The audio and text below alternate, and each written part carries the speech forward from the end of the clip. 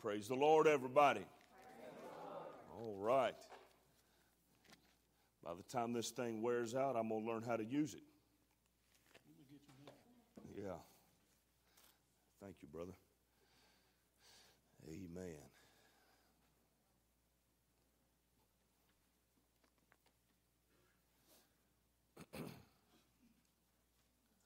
Amen. We might, uh, we might uh, probably gonna have to run off some more copies tonight. Thank you, Jesus. I love it when I have to run off more.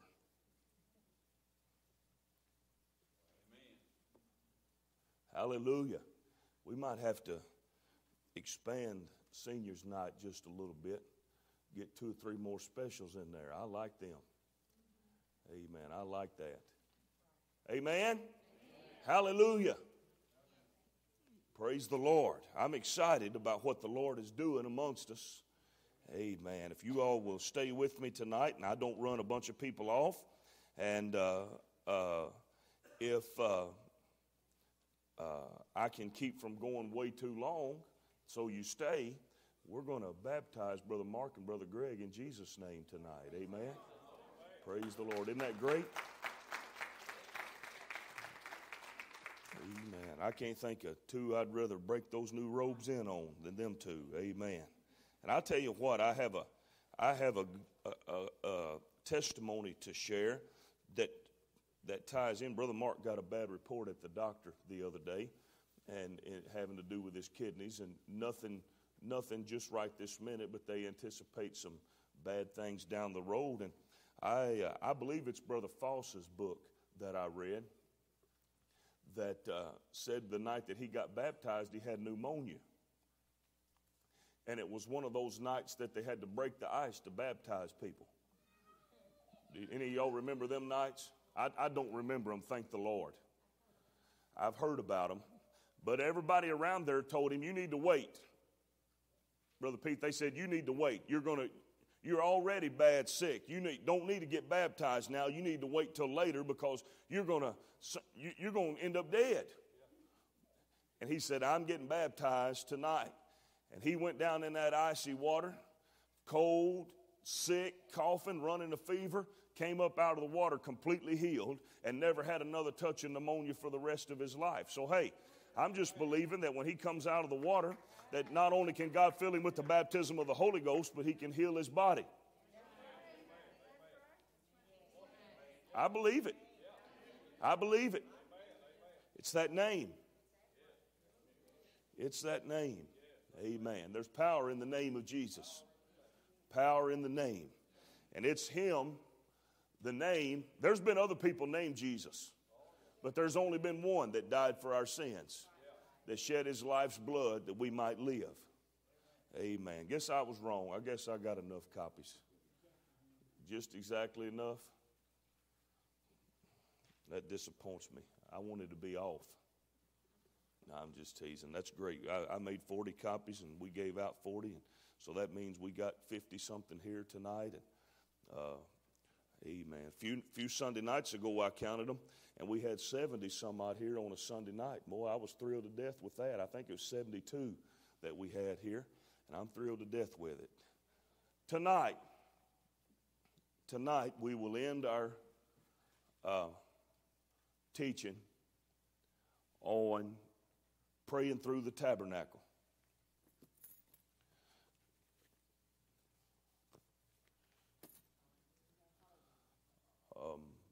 In listening to Brother Mangan's teaching and praying about it today, I had to go to Cape this morning. I listened to it on the way up there, I listened to it on the way home. I stopped it occasionally, and I even did some research while I was waiting today. And then I came home and I studied some more and listened some more, and I am forever more convinced that if we will do this, that our walk with God will be more effective than it's ever been. I can already tell you that it's made a difference in my life. It's made a difference in my mood. It's made a difference in the way things affect me. It's made a difference in my worrying, because I'm by nature a worrying type person. But, Brother David, it's made a difference without even trying. It's made a difference in me as I begin to try to be perfected in prayer. Exodus 25. We'll read 10 through 11, then 16, 17, and 18, and then 21 and 22. And they shall make an ark of shittim wood. Two cubits and a half shall be the length thereof, and a cubit and a half the breadth thereof, and a cubit and a half the height thereof. And thou shalt overlay it with pure gold, within and without shalt thou overlay it, and shalt make upon it a crown of gold round about. Verse 16 says, And thou shalt put into the ark the testimony which I shall give thee. And thou shalt make a mercy seat of pure gold. Two cubits and a half shall be the length thereof, and a cubit and a half the breadth thereof.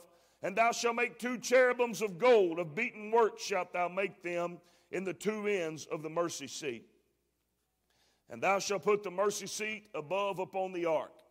And in the ark thou shalt put the testimony that I shall give thee. And there, everybody say, there, I will meet thee. I will meet with thee, and I will commune with thee from above the mercy seat, from between the two cherubims which are upon the ark of the testimony, of all things which I will give thee in commandment unto the children of Israel. Somebody tell me the reason why the tabernacle was implemented.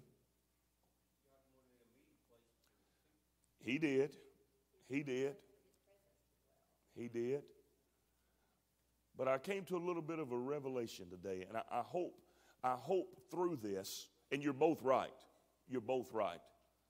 But there's a one word answer to the ultimate reason why they needed the tabernacle. Well, you're getting close. Getting really close. It's probably not going to be what you think.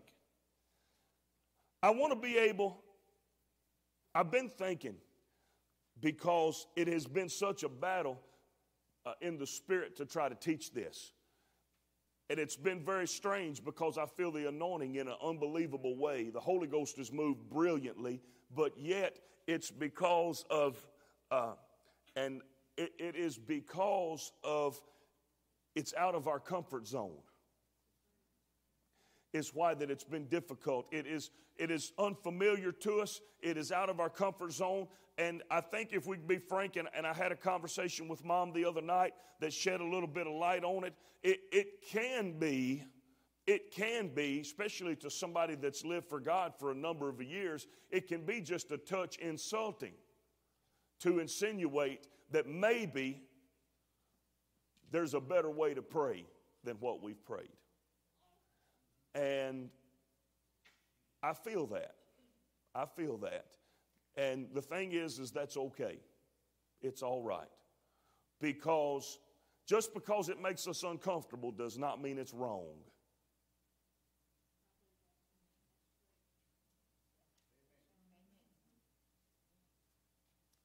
Being a little uncomfortable is good.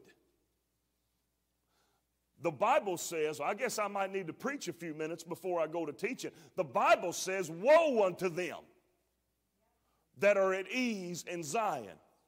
That is those that sit back and think, I've got it all figured out.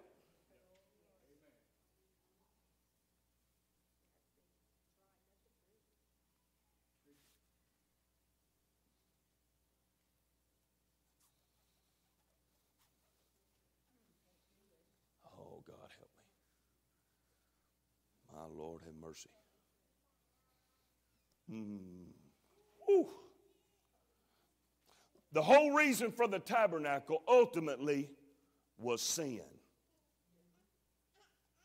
Everybody needed the tabernacle because of sin. Brother David, you're right in that he made it as a gathering place, as a, as a place where he could commune. But the reason why he had to make a place is because they sinned in the beginning, Brother Pete. It was sin that brought in the need for the Lord to have to make a way for people to want to be with Him. Before sin, He just showed up.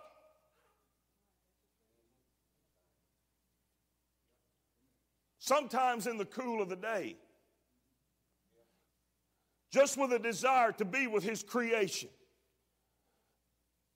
Everybody, everybody say everybody. Now, I got to tell you one thing. I got thrilled to death today when I was listening to Brother Mangan pre- preach this at his church. Because Brother Terry, you know what he did? After he, he said something really good and you could hear people clapping, and then he said, There's a whole bunch of you that ain't clapping. And I thought, Yes! Yes! Because you know what that told me? It happens there, there too. Everybody needed the tabernacle because of sin. Everybody. The plan was put into place to restore the relationship that sin had destroyed. It was not a just in case you sin, it was a because you will sin. Sin is an ever present enemy that we have to be aware of. And it will be an ever present enemy until this corruptible shall put on incorruption. Can I get a witness up in here? It will be a problem until Jesus comes. Lest we think we have arrived, unless we think that the, we're about to be translated like Enoch was or caught up in a whirlwind like Elijah was, rest assured you need the Lord. You need a relationship with Him and you need help. Mm, God, help me right now. You need help getting there. We cannot get there on our own. We need help. And so He made a tabernacle. He made a tabernacle. Consequently, the presence of the mercy seat, because everybody needed it. We all need mercy. And we all need a visitation with God upon the mercy seat. Because the Bible says that all have sinned and come short of the glory of God. We were born in sin and shaped in iniquity.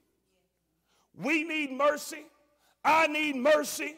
The world needs mercy.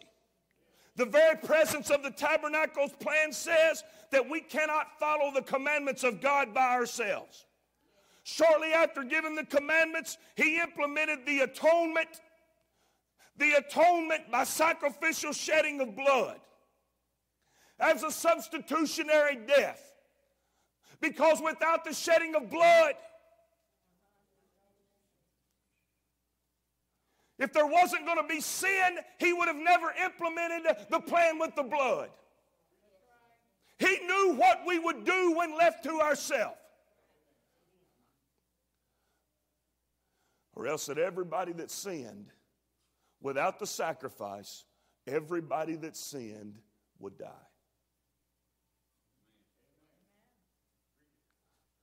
You or I couldn't be saved without Calvary. The blood that Jesus shed washes away our sins, and its effectiveness is forever. Without the blood, there is, or was, or never will be any hope.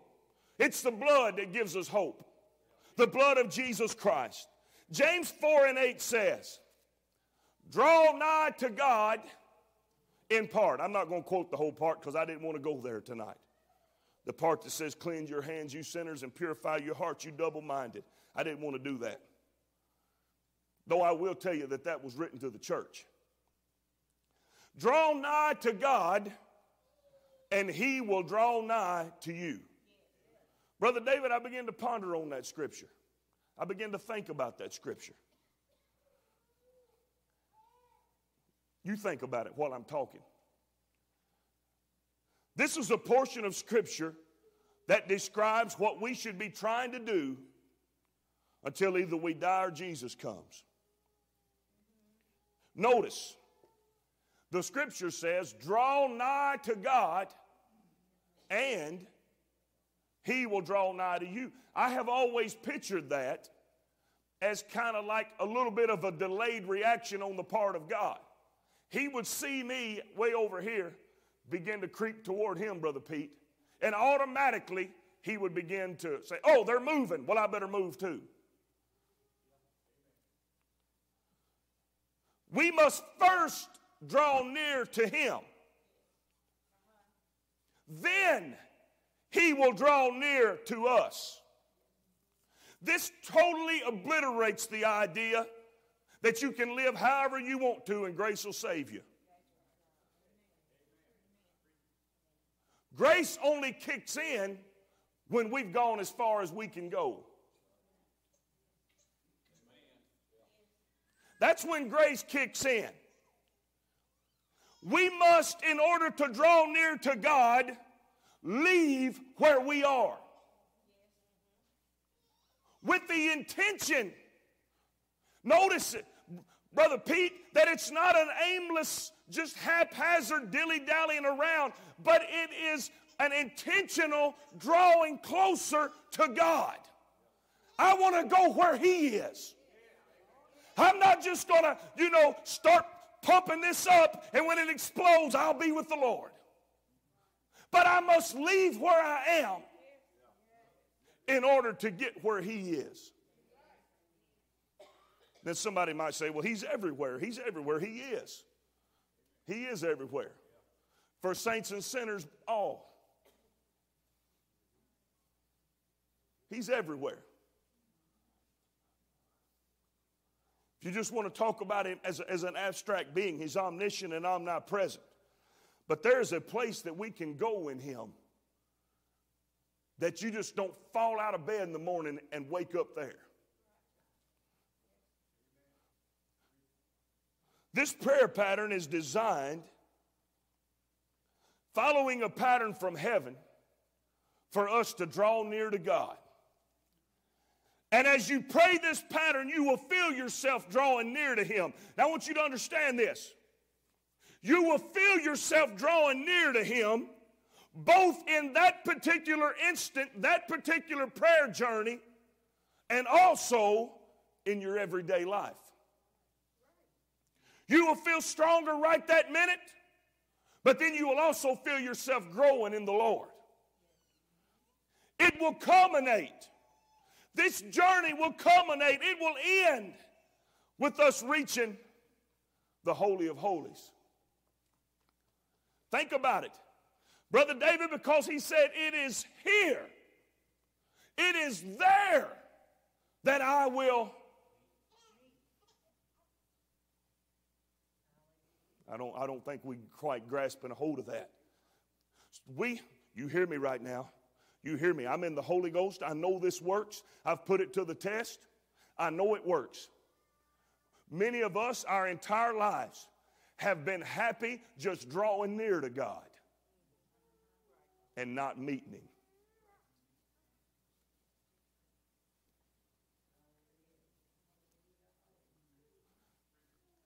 Now, if that opposition that I felt was going to discourage me, I'd have quit teaching this. I ain't discouraged because I know it works. It is here that we meet Him. As I offer praise, enter to His gates with thanksgiving and His courts with praise.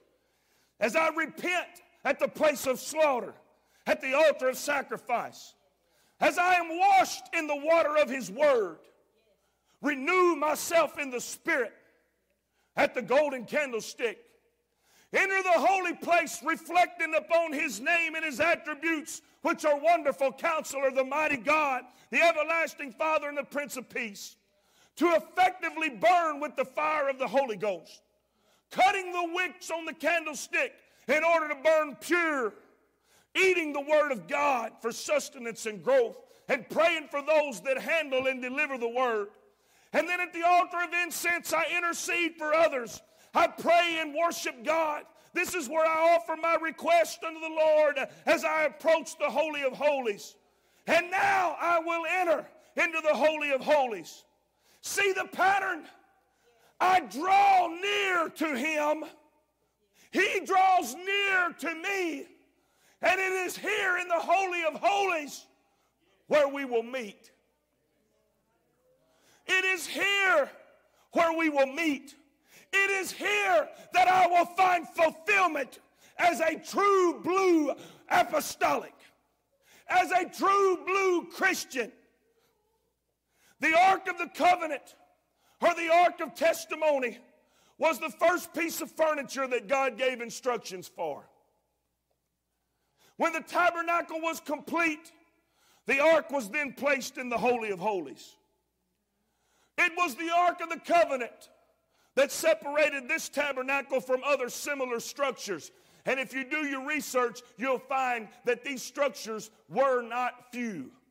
It was a common practice to make a portable place of worship among those in the Oriental world. No one else, nowhere else on the face of planet Earth could one be guaranteed to meet the Lord face to face. The supernatural, divine, heavenly, beautiful presence of the Lord was guaranteed to be in this place, a place designed by God and built by man. I said a place designed by God, but built by man.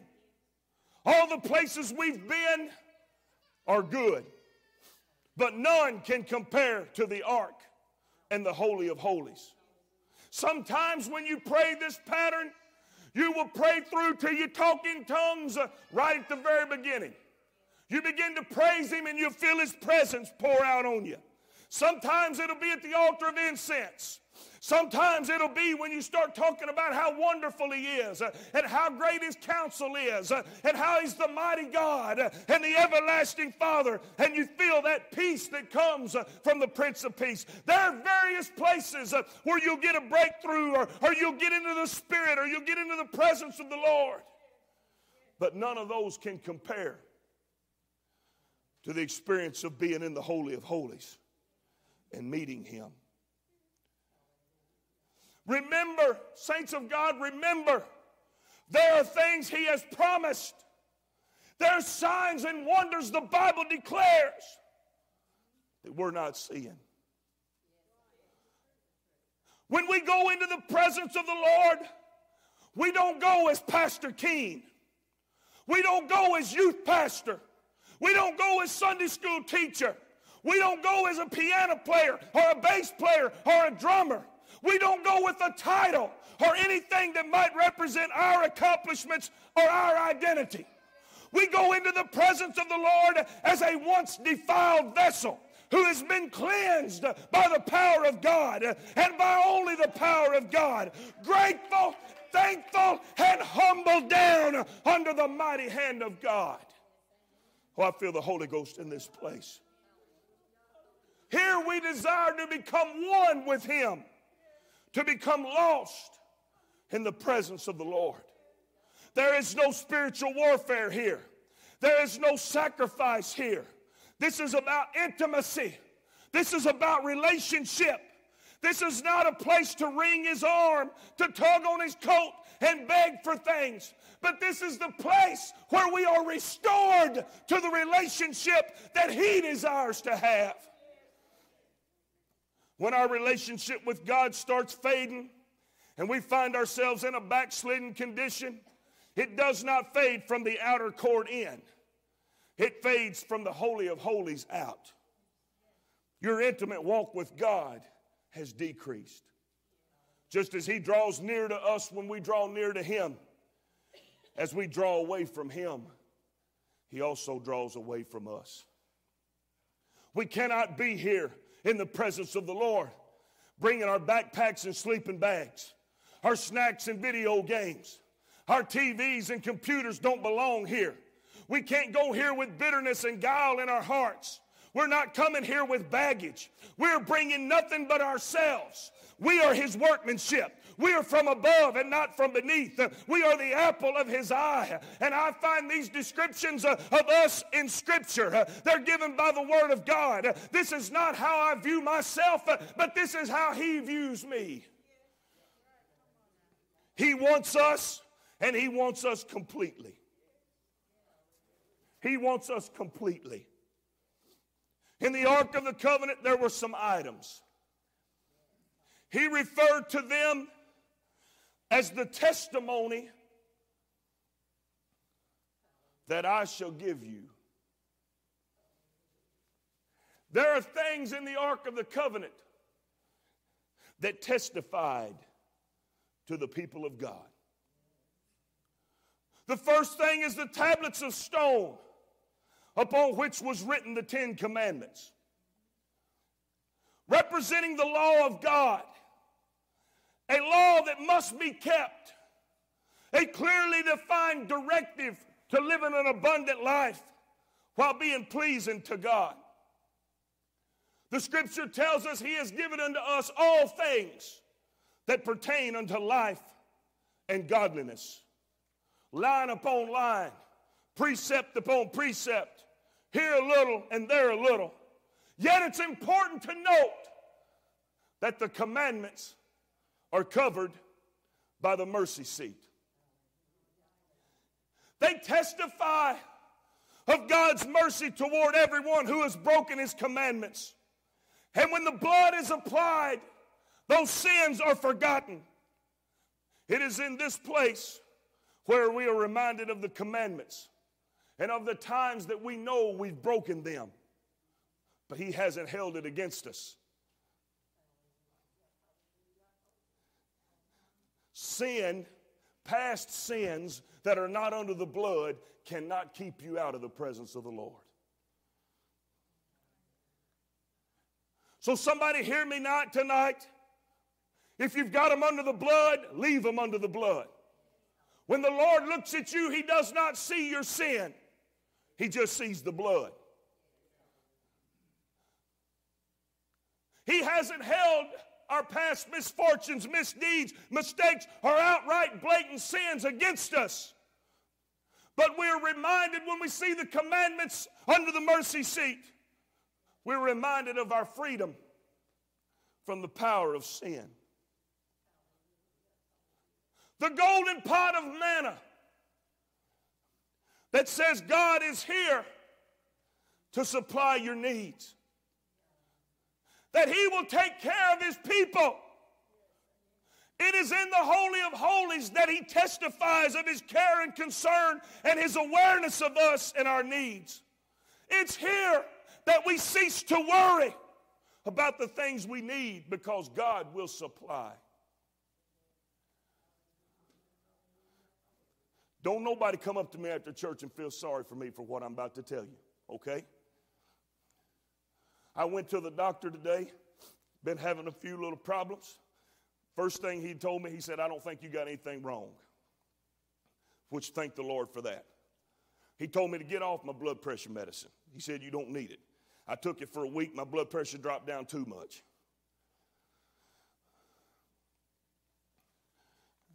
I've been having a few problems and I was scared. Talking about a place that you can go in the Lord where the Holy Ghost will minister to you. Brother Billy, I'm not talking about just the same thing everybody does, just going through the motions. I'm talking about the Holy Ghost speaking into your life. When I got to the table of shewbread the other morning. I began to read a passage. Brother McKinney, I read it two days in a row in its entirety, verse for verse. Never even noticed the end of it, Brother David, because I was focused on something else.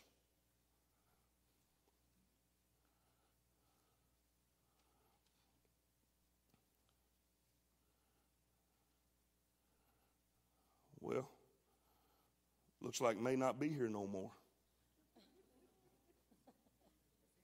I'm not joking. No, there it is. I've been having a few issues with my heart. Lay down at night and it flutters a little bit and stuff. My triglycerides are up a little bit. And so, Brother Billy, I'm reading the Word of God. I just want to minister to you tonight. I just want to minister to you and tell you that it works. God's for me, Brother Pete. God is for me. And all of those things that He tells us in the book, those are things He wants us to do. He, he, I'm telling you, the Lord will minister to you. Get this. I was getting a little bit chicken. I even been teasing with my family. I go to bed at night, baby, if I don't wake up in the morning, I love you. And then I get smacked or something. But it's been in the back of my mind. We're just humans, right? So, Brother McKinney, I, am praying. I've even prayed, Lord, if something, ha- if it's your will, something happens to me, watch out for my wife and my kids, and, and watch out for this church. And, and I, I pray. I, I mean, we just got to be real. We're, we're, we're mortals. And I, I want the will of God. The last three verses one, two, three, four. The last four verses of Psalm 27 says, Teach me thy way, O Lord, and lead me in a plain path because of mine enemies. Which fear is your enemy, by the way, in case you was wondering. Deliver me not over unto the will of mine enemies, for false witnesses are risen up against me, and such as breathe out cruelty. Get this. I had fainted unless if I hadn't believed to see the goodness of the Lord in the land of the living. Now, here's the deal that may not mean to you what it did to me, but I felt the power of the Holy Ghost burst over me. And it was like the Lord said, Listen, you're going to see the goodness of the Lord not in a heavenly place, but in the land of the living. Wait on the Lord, it says. Be of good courage, and he shall. I ain't lying to you. What's it say right there?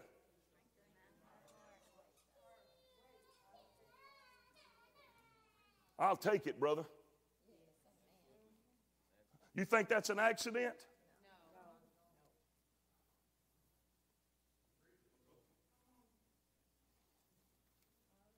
Who am I that you're mindful of me?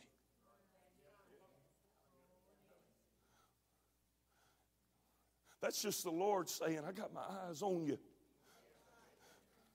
That's just the Lord saying, keep on. Keep on. You're going to see it. Just don't be afraid. I'm going to strengthen your heart. Wait, I say, on the Lord. If you don't think He's mindful of us, oh, He's mindful of us. He's here. And He's wanting to meet me. He's wanting to meet me. God's here to supply your needs, the golden pot of manna says. Worry is one of the greatest enemies of revival. Worry is one of the greatest enemies of you being blessed. If you've got $20 in your pocketbook and you've got it designated for something and the Holy Ghost says give it, you be too afraid to give it if you're worried. If you're in the presence of the Lord, You'll give 40 if he says 20. Oh, I wish somebody would listen, get a hold of this, what I'm teaching, what I'm preaching to you tonight. That's the way it works. Because, Brother Pete, my confidence is in him. And the manna, the manna is evidence that I'm going to take care of you. You just brought us out here to let us die. No, I didn't. Wait till you wake up in the morning. There's blessings. Is there anybody in the house that you'd like to be free from worrying? That you'd like to be free from, from, from, from being always perplexed about everything? If you get your way into the Holy of Holies, uh, He'll deliver you from it.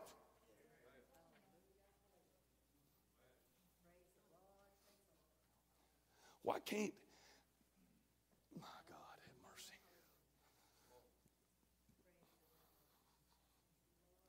If you see a commercial that there's a new kind of detergent, or you hear something about a new kind of detergent that's guaranteed to, guaranteed to take out spots, people will line up by the droves. You see every one of them getting it.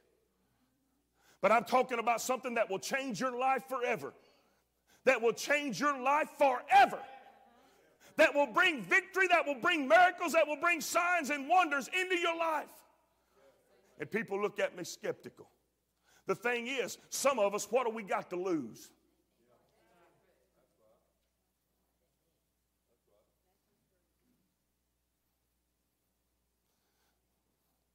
I have to hold myself in sometimes in Bible study from just not running the aisles because y'all think I'm crazy. It's here that we cease to worry about the things we need because we truly believe that my God will supply all your need according to his riches in glory. Oh, oh. And then the third thing is Aaron's rod that budded. That represents authority and that represents the miraculous. It represents the supernatural power of God that will minister to you in the presence of your enemies. That the plan of God will be manifest that the cry of God's people will never go unnoticed. But I want you to notice something else it represents life out of death. A staff is a dead piece of wood, it is not connected to roots. Therefore, it cannot grow. It is big as it will ever get. But Aaron's staff, his walking stick, his shepherd's staff, maybe that he copied off his brother, Aaron's staff begin to bloom and begin to bud. It is representative of the power of the resurrection. It is represented that life will come out of death. It is representative that even if it's cut off and hopeless, uh, that the power of the Holy Ghost uh, can bring life. I fear that in many of our prayer lives, uh, and I'm going to testify to you, there have been sporadic occasions throughout my life with God, throughout my walk with God. Looking back now, there have been just isolated instances uh, where I found myself where I'm teaching about tonight, Brother Pete but it was usually precipitated by a burden, or it was precipitated by a strong desire, or it was precipitated by something that was happening in my life right then. Never have I been to the place uh, where I just that I just wake up in the morning uh, planning on being with Jesus uh, just as fast as I can get there. Planning on a rendezvous with the Master. Because it's a way of life not because all hell's come against me, just because I want to be with him. And what's better? What's better, Brother Billy? He wants to be with me.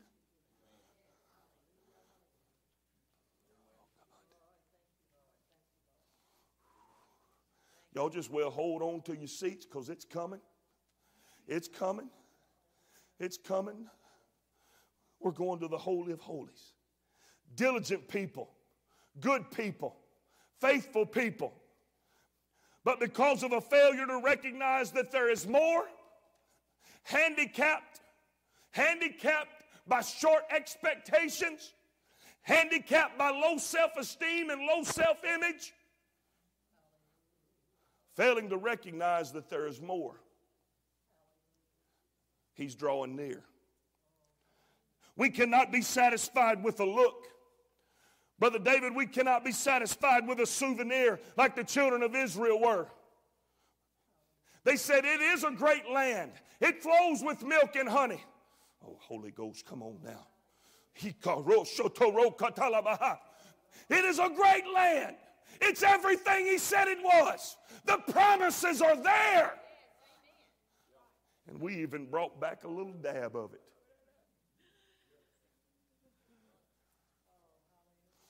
Look at the grapes. There's millions of them, but we brought back one cluster. Look at the figs and the pomegranates, but we just brought back a couple. Look how good they are. Look how great they are. It's a great land, but there's a price we're going to have to pay if we go there. Instead, Caleb said, Y'all shut your mouths. Let us go up at once, for we are well able to overcome it. That's the spirit that gets on you in the Holy of Holies. There ain't no doubt in the Holy of Holies. There ain't no fear in the Holy of Holies. All there is uh, is the clearest picture of the promise uh, that you've ever experienced in your life. 45 years pass. 45 years pass. Moses is dead. And Joshua is the leader. And Caleb comes to Joshua, says, I know you got a lot going on right now, but don't forget, I still want my mountain. I still want my mountain. If somebody will just let the hunger, let the hunger for more invade your life. Let the hunger for the promises, for that one touch that you had 27 years ago when you remember you fell on your face before God uh, and you wept until you had no tears left, uh, until you cried and your voice was hoarse. Uh, if you'll just revisit that and say, Lord, I'm not satisfied with just one isolated here or isolated there, but I want to live. He said that I come that you might have life which we all have. But then he said that you might have it. That's what I'm wanting, Brother Terry.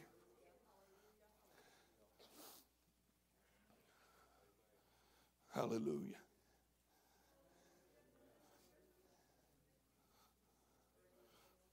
We can't be satisfied with just a little bit here and a little bit there.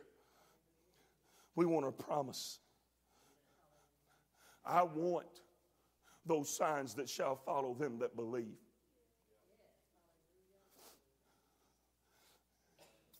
I want, Brother Pete, he said, Oh, we preach it because it sounds good and it sounds cool. But Brother Terry, he said, Don't get too excited about the things you've seen me do because you're going to do them.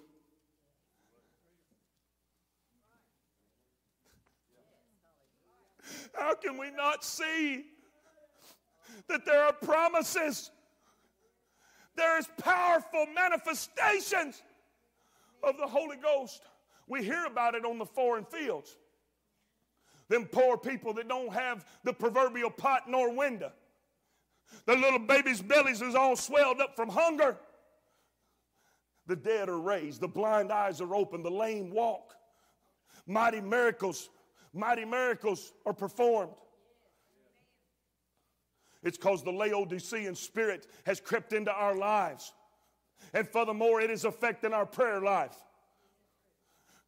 It is here. We talked about it the other night. Brother Pete, it is here. It, we are, we got to shake ourselves out of our apathy and listen to the prophetic word that he said the Spirit says to the church. You think you're rich? Increased with goods, and have need of nothing. When in reality, you're blind, poor, wretched, and naked. If you think that's confined to the world,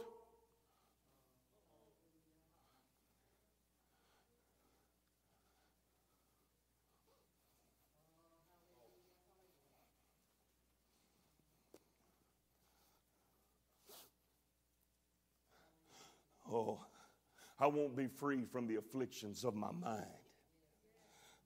I don't want to. I no longer want to be controlled by the inadequacies of this body that has failed me. But I want to be fully confident in the power of God. Some trust in horses, and some in chariots. But we will remember the name of the Lord our God. Hebrews 4 and 16, Brother Shannon.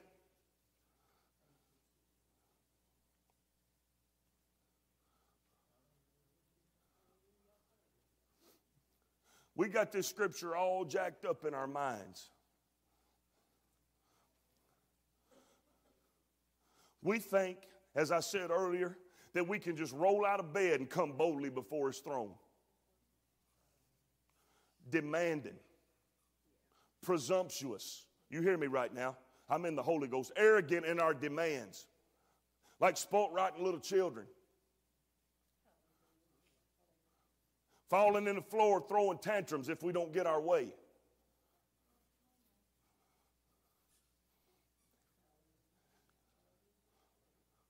Let us therefore come boldly unto the throne of grace. I would submit to you that we may obtain mercy and find grace to help in the time of need. I would submit to you that this boldness will be in operation after we have met the Lord.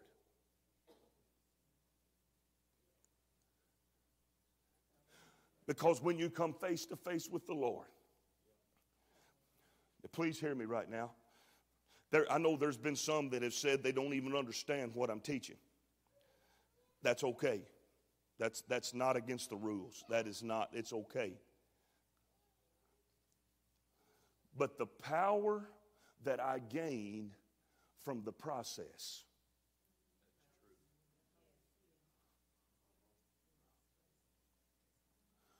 We, Brother Pete, y'all got to see it. The mentality of the world has crept into our Christian life. We think we can drive through and get anything just like that.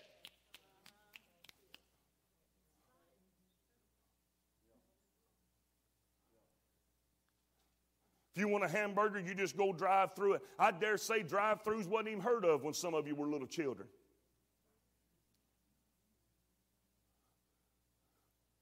We go get a hamburger that somebody grabs out and throws on the grill. Brother Terry, they used to have, if they want a hamburger, you kill a cow. But we don't have to go through the process anymore, Brother Pete. So we just think that's how it is living for God.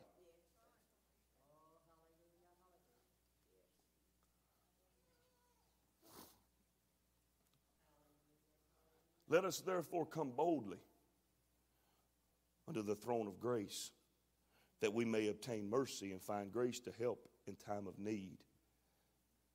It is when we meet the Lord that there's a change that takes place in our lives. That, my friends, is when all nine gifts begin to be in operation.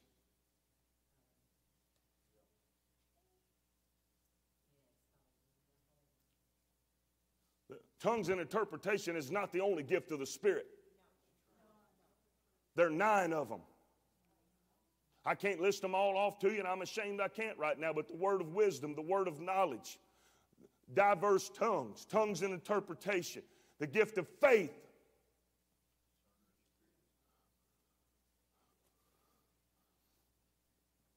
They'll begin to be operation. That's not for the ministry. This, what I'm teaching to us, has nothing to do with being a preacher or not.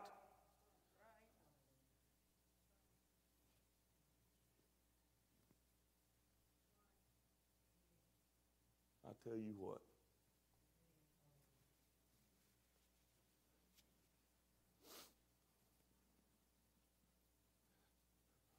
Brother McKinney, this is Give New. I want you to think about this. I'm, I'm done. Let's stand. Gifts will be in operation. Strongholds come down. Holy Ghost filled men and women will begin to speak to storms. Demons will be cast out. Our level of effectiveness in the world and in the church will increase. It will increase.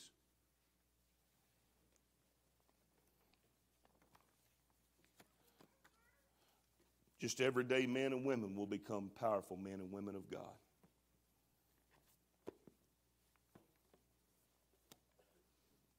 But, Brother McKinney, I'm going to leave you with this. There's a scripture that I've never really understood.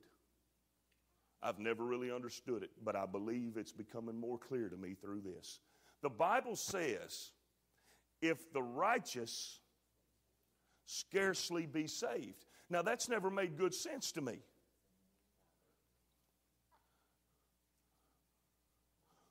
Why would the righteous scarcely be saved.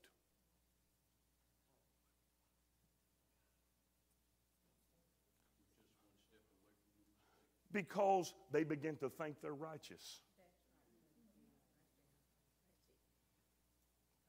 And Isaiah told us, Brother McKinney, that our righteousness is as filthy rags.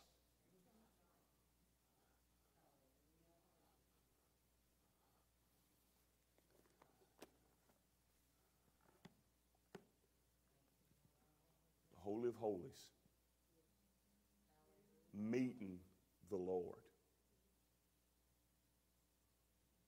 Oh, God, forgive me.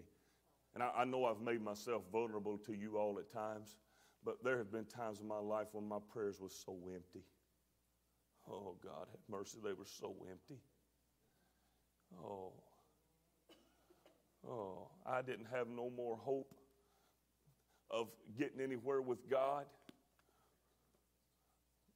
than a goose in a hailstorm. No hope because I was just aimless.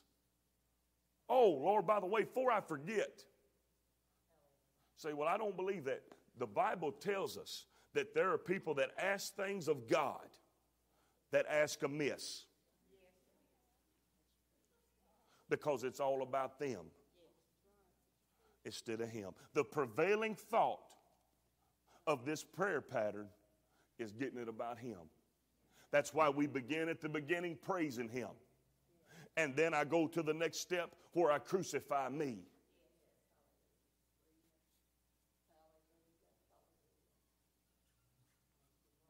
Boy, I tell you what, we're going to have revival. And I'm telling you, not only are we going to have revival, but we're going to have a great power, a great move of evangelism. And there's going to be souls filled with the baptism of the Holy Ghost. Now, I'm going to tell you this right now. You just stay with me right now, just for just a second. I know, I know, I've made you stand up for like five minutes.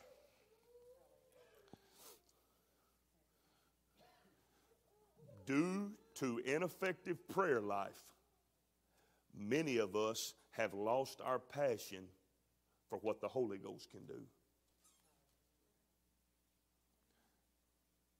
We have lost our faith in the power of the Holy Ghost because when you don't see it happen,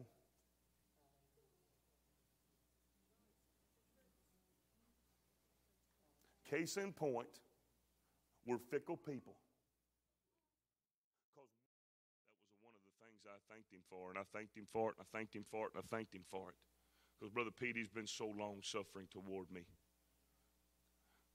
But he has been impressing on me for, I know 25 years. I'm going to say maybe, that's probably about right. I would have been 15. That the only thing separating anybody is, but he was talking to me. The only thing separating me from being where I knew I could be in God was having an effective prayer life. And I want to tell you how stupid I was. I ain't a lot smarter now, but I'm learning after 25 years. Sister Eloise, you know what I told the Lord? When I get married and settle down, I'm going to start praying like I'm supposed to. Hallelujah.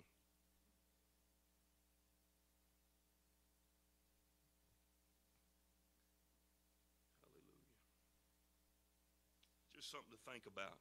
I'm ashamed. I got to ask the Lord to forgive me that it's taken me till I was 40 years old to really learn what prayer. I, I would venture to guess that if I asked tonight for every man, woman, boy, or girl that has a prayer life you're satisfied with to raise your hand, there would be very few hands raised in the house.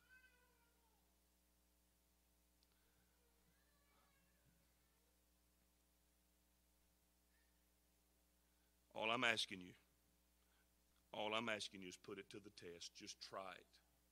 Try it. You have nothing to lose. Amen. Guys, I'm sorry I didn't preach the house of fire on the night you're getting baptized. Not really, I'm not. I preached under the anointing of the Holy Ghost. Sister Eloise. Hallelujah. We're going to baptize these two gentlemen in Jesus' name tonight. They showed up early, ready to be baptized. I've been praying for Brother Mark to get the Holy Ghost. He's been having some difficulty, and I've been praying for him to get the Holy Ghost. And I, I believe if his faith is enough, that he'd come out of the water filled with the baptism of the Holy Ghost, speaking in tongues. I believe that. I believe it. I've been praying that way. Uh, I know it's getting late. It's 8:28 already. But uh, I, uh, I I'm gonna try out my new robes tonight. I don't get to wear one. Amen. But that's all right. I don't want to anyway. Hallelujah. Hallelujah. If uh, Brother Mark and Brother Greg, if y'all want to come start getting ready, I took my stuff back over there on the other side and left it. If you come play the play the piano, you know we got to have music at a baptism. I don't know how they did it back at Little River when they used to baptize people. They sang probably without any music. But uh, uh, we're gonna we're gonna baptize both of these guys. The Bible says you have to do it to fulfill all righteousness. Do you believe that? Hallelujah.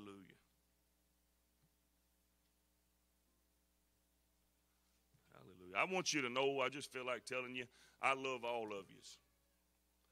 I brag on you. I brag on you to all my preacher friends. Both of them. No, I got them one or two more than that. But I love this church. I love this church. But there's a scripture where Paul's speaking, and he said, I am persuaded there are better things for you. And that's the spirit I'm preaching from.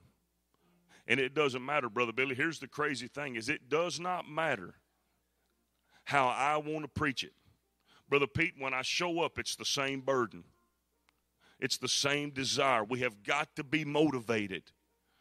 We have got to be motivated. We've got to be pushed. If we're not pushed, we generally won't go. We've got to be inspired. We've got to be pushed. We have got to be we have got to be exhorted. And the Bible just happens to say reprove, rebuke and exhort with all long suffering and doctrine. Y'all sing some songs. Sing them real good and fast and sing the Hallelujah. We're going to pray before we baptize these gentlemen in Jesus' name. Amen. We're going to pray the hand of the Lord be upon Brother Greg's life. We're going to pray that the, the Lord will guide his steps, will bring him all the way where he wants to go. If y'all seen the notes and stuff that he's been taking at home, full notebooks full of stuff for Bible study, really searching. These guys have been searching for the Lord for over a year before they contacted me. When I went in their house, they had all kinds of Bible books scattered around, searching searching. And I think they, Brother Mark told me, he said, I've been to church all my life, but I ain't never been to church till I came to this church. And uh, I'm grateful for that. Amen. Aren't you? Hallelujah. Y'all pray with me. In the name of the Lord Jesus Christ, I pray for Brother Greg. I pray, God, that you'll guide his steps. I pray from this moment forward, he is a completely changed person. Lord, I know you filled him with the Holy Ghost, and I know you've brought him a long way, but your word says, This it becometh us to fulfill all righteousness. Uh, I pray the hand of the Lord is upon his life, God, and you'll lead him and guide him in every direction he needs to go. And I give you the praise for it. I give you the praise for it. Uh, I'm thankful, God, that you brought him our way, and I'm thankful, Lord, that we've been able to be what they need. Lead him to you, who are what everybody needs, uh, in the name of Jesus. Jesus, in the name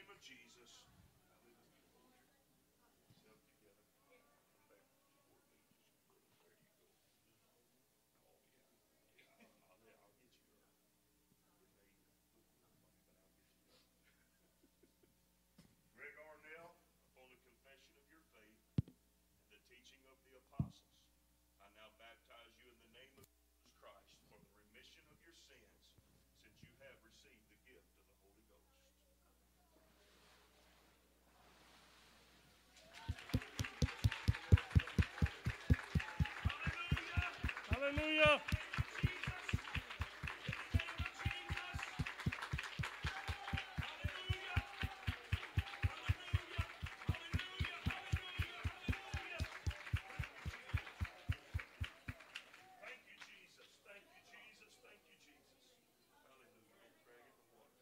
this is a miracle that Mark is here. And I want us to really pray. I believe God's going to do a miracle in this baptistry. I believe it now.